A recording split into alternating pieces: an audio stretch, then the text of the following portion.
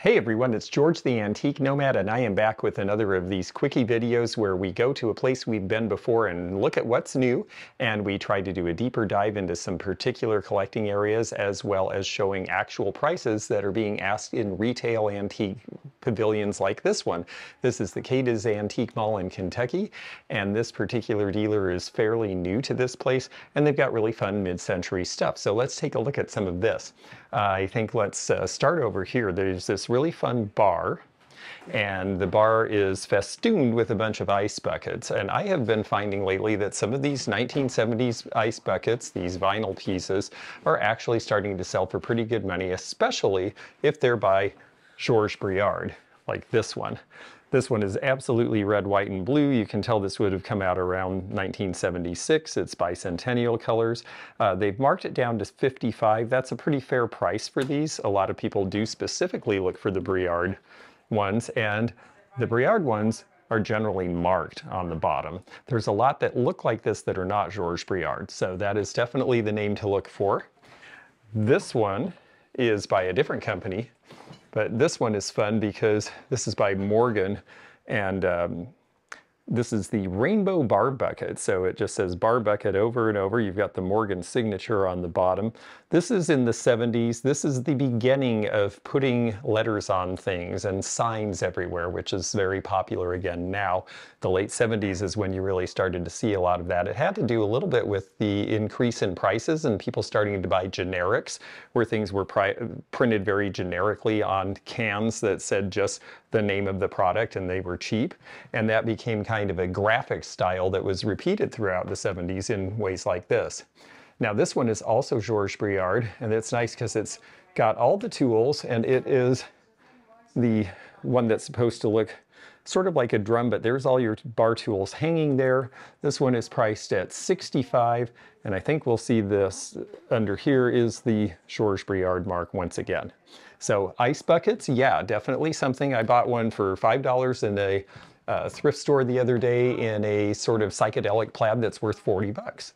So uh, also with the barware, here's another one with all the utensils. This is another Georges Briard.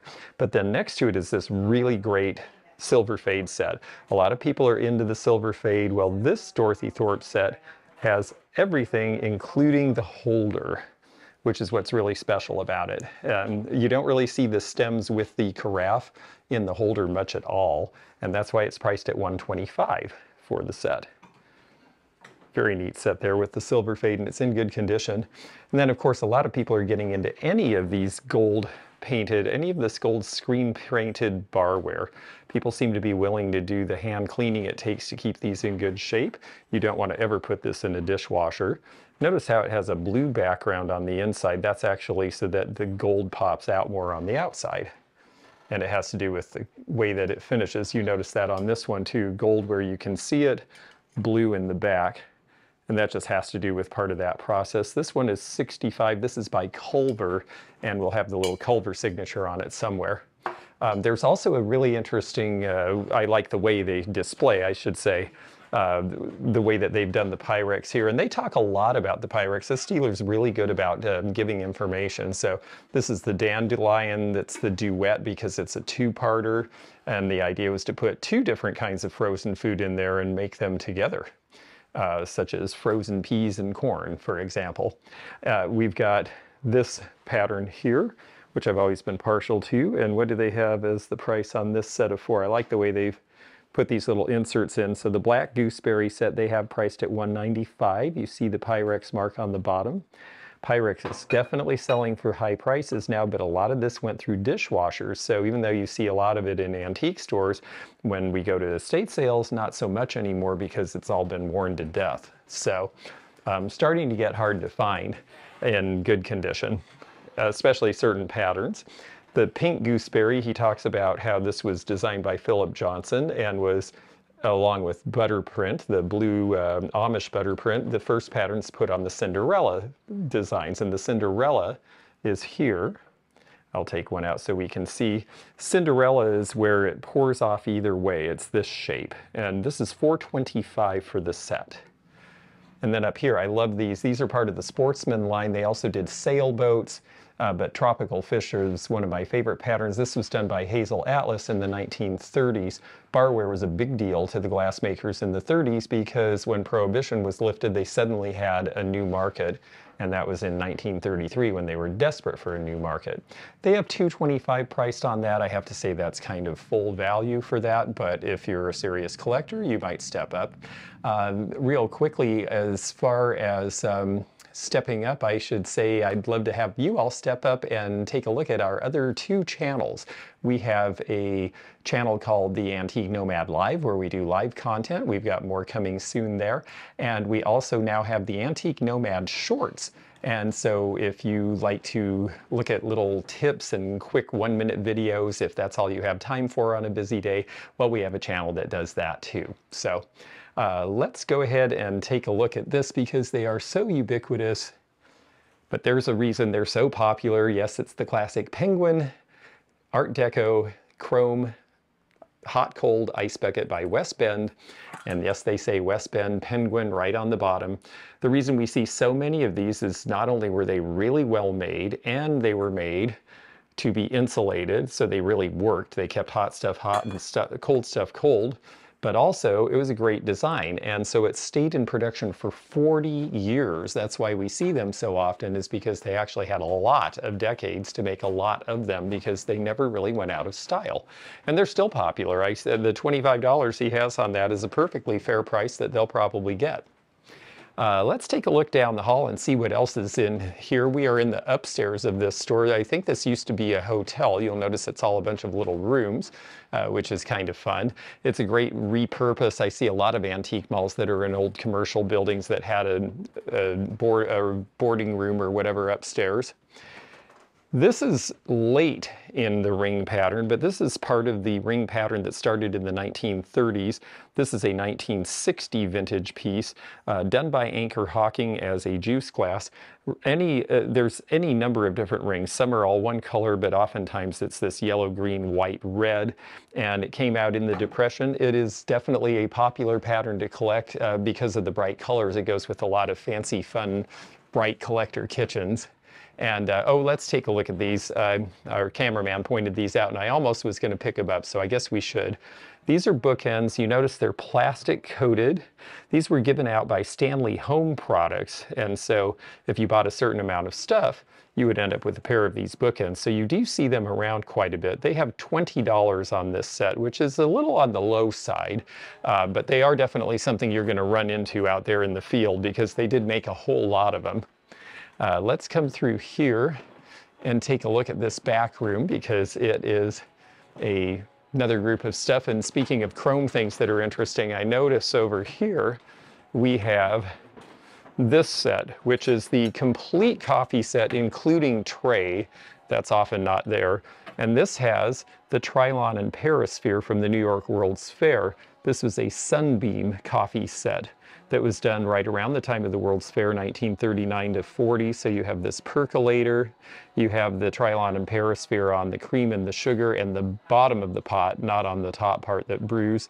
They're asking $70 for the full set, and because it is the full set, that's actually a fair retail price. All right, well, let's see. We're gonna carry on back here and see what else we can find. I think I should point these out because they're, in fact, there's a few things over here. So First of all, these.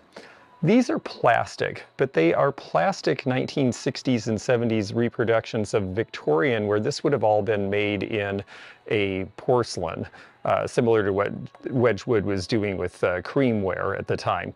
If you see the porcelain ones, they can be hundreds of dollars, and that's why they started making the reproductions. The reproductions are $28 because, well, they're reproductions made out of plastic. So um, and then these bowls are kind of interesting. These are all carved in Haiti, and we see a lot of this work coming out of Haiti in the 1970s when the economy started to go really bad.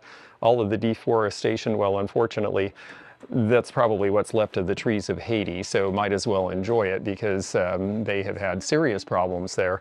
But when you see these kind of big, wide floral carvings, it's a good indication that it's Haitian.